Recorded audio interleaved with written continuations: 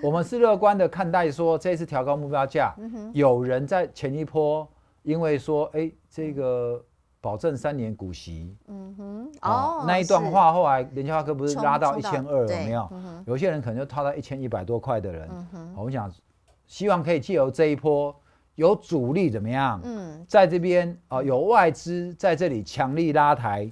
让它在结果之下，可以让你怎么样？呃，早点哈解套，然后再重返荣耀。其实其实要早点解套哈，讲起来哦，当然解套是一件很开心的事啦。是，可是从另外一个角度来看，嗯，如果有一天真的一千二给你解套的时候，你又会想说，哎。